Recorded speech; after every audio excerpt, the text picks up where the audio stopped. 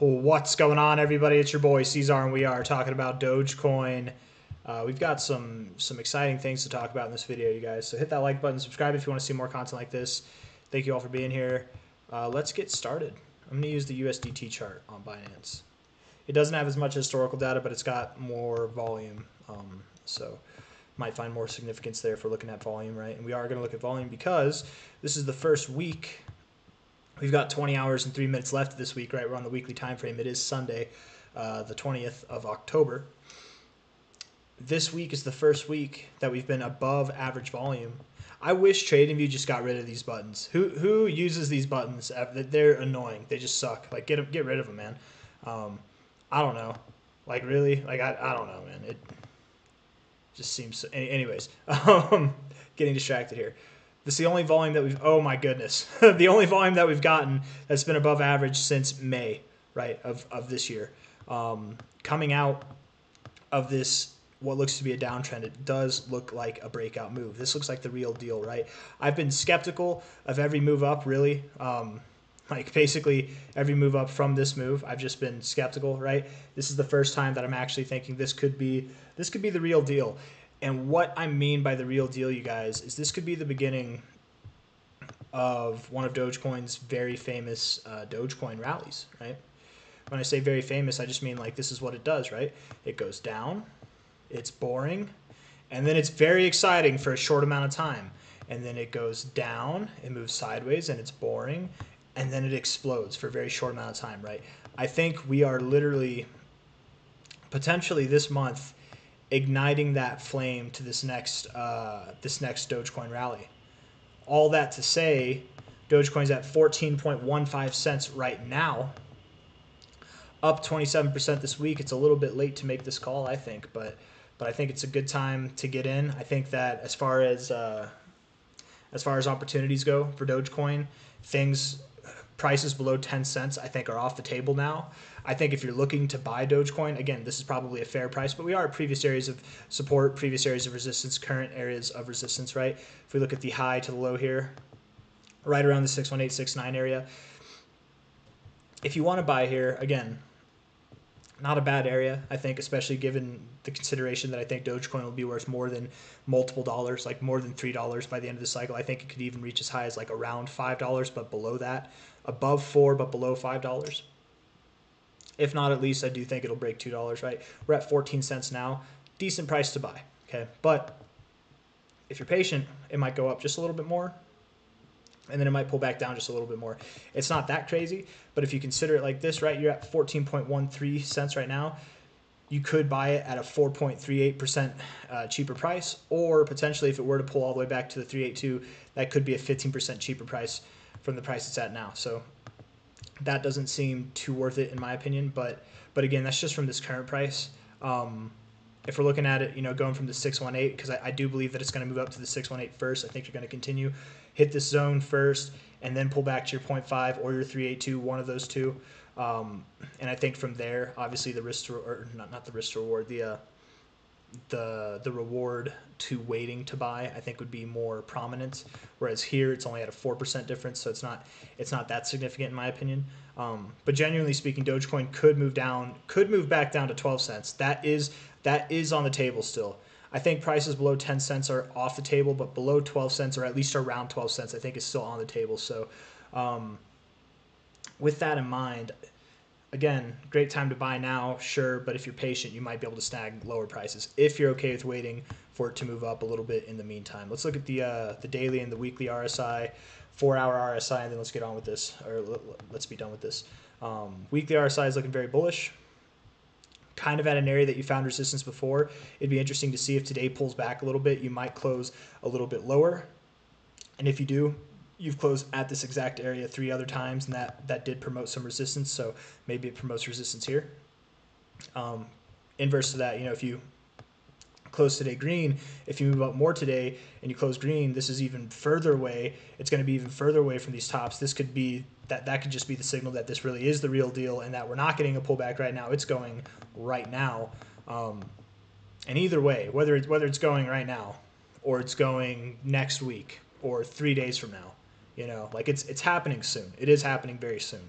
I do believe Dogecoin's it's it's about to uh, get it get the uh, the social eye back on it, right? It's gonna be it's gonna be back under the lens of like like uh, attention. I, I don't know. I, f- I feel like Dogecoin's been sleeping. It's been something that that people who liked Dogecoin last cycle, everybody talks about it still, but most market participants just kind of write it off as a one-off, right? They do that every single cycle, right? Every single cycle. I, I know because I've done this before. I was I was one of these people, right? Whenever it, it was down here, oh, it was a one-off. It'll never pump again. Then it pumped again oh, it was a one-off. It'll never pump again, and then it pumped again.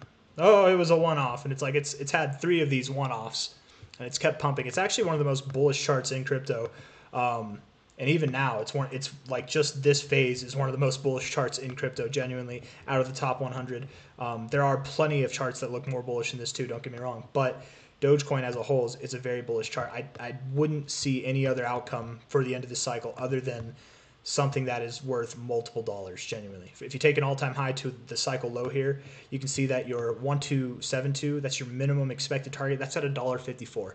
Minimum expected target, sure, it could land there, but genuinely, I think 227 or higher, that's probably where you're going to go, right? And you genuinely could go a little bit above the 1618 each cycle so far.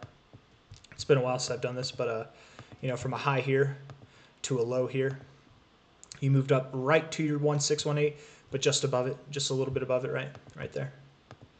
That cycle there from the all-time high to the cycle low, you moved up above the 1618 again, this time going all the way up to the 2272. But both cycles went above the 1618, okay? At least to it, if not just above it, right? High to low, same kind of idea. If we just do what we've done the last two cycles and at least reach the 1618, Last time we demolished that, went all the way to the 2272. I don't think Doge is going to be worth $23 by the end of this cycle. I think I think this is plenty.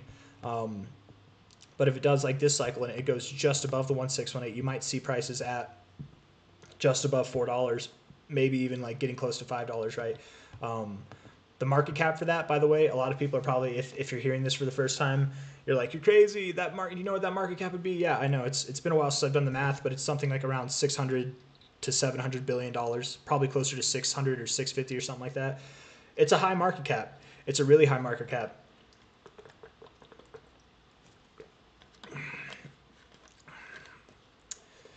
Probably overvalued even, right? But a lot of these cryptos are overvalued in my opinion. And Dogecoin is literally just a hype meme coin. That's all it is those ones have the most potential. Like if anything's going to see an absurd market cap, it's the it's the hype coin, man. It's the hype coin, and this is the most dominant bullish hype coin in the space right now. And I think it's about to do what it's done every single cycle. I, I really do believe that.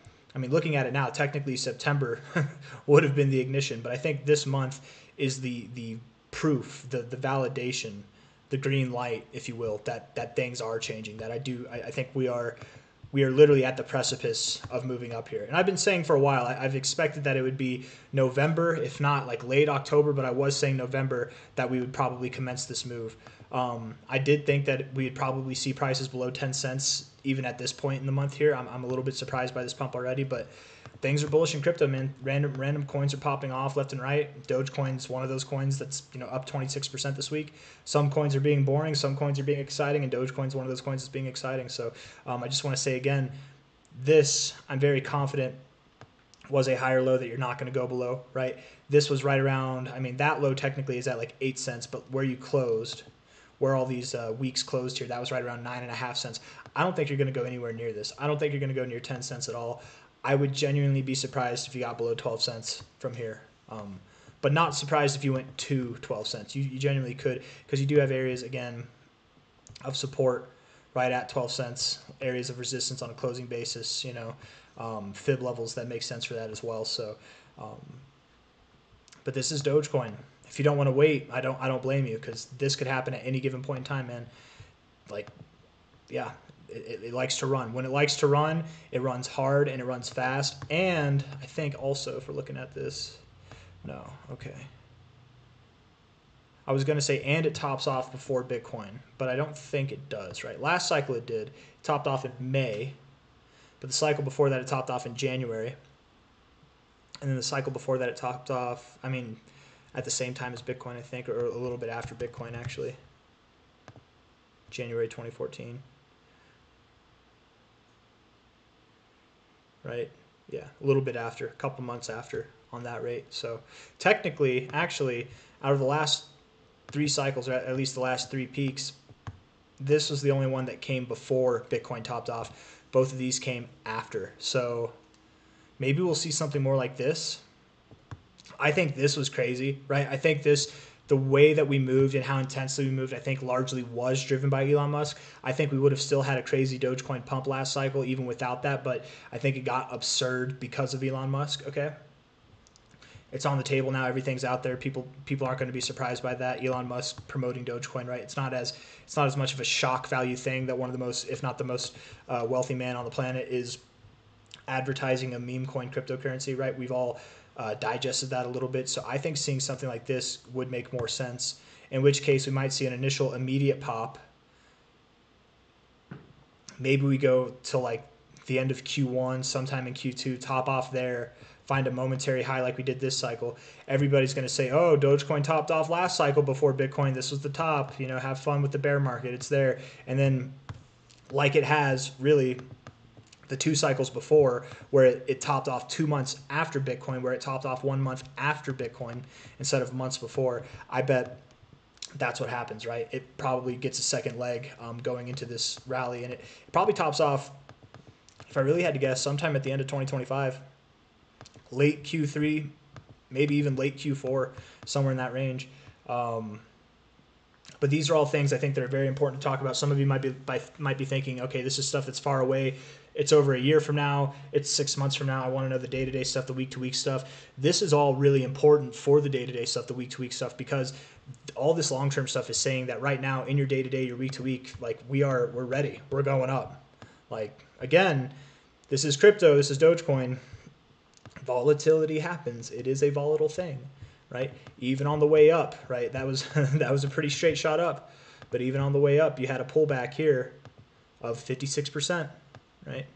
I think, you know, even if it moves up more, if you're patient, you probably get to buy either back at these prices or lower, probably lower if you're just patient. But again, don't let me stop you from buying, man. You're at 14.12 cents now. I very much do believe Dogecoin will be worth more than $2, probably more than $3 even by the end of this cycle. Uh, close to 4, between 4 and 5 is what I'm expecting. But what would that be percentage wise? Because I feel like I've measured this before and it was like a 30x, but from here it just seems like that would be so much larger. If we went to, if we went like right below four bucks, that's that's a 27x. I don't know why, but to me, 14 cents to four bucks, it just seems like such a larger thing in my head. But it's only a 27x.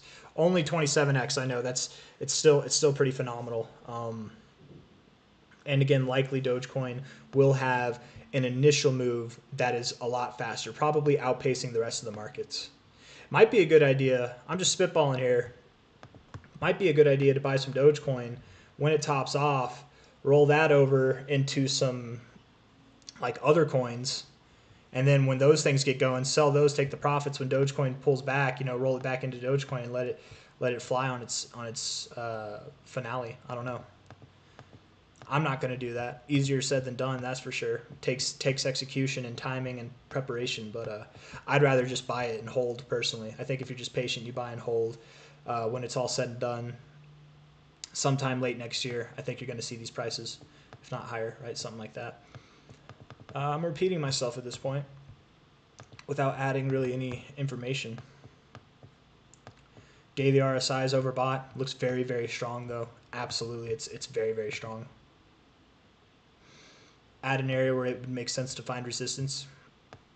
If you were to find resistance here, based on the fibs, I'd expect you pull back to 12.8 cents, potentially down to 11.9 cents, which is just below 12 cents. So, so that's the area that I would guess that you'd pull back to if you were to pull back from here.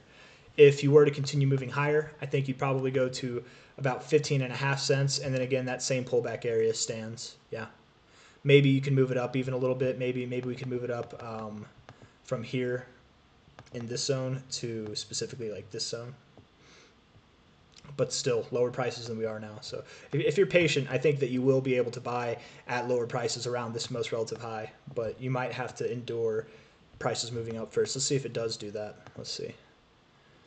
It just it looks so bullish, man. It really does. It looks so damn bullish. Um, yeah, you probably move down from here a little bit, and then you then you keep moving up. We'll see.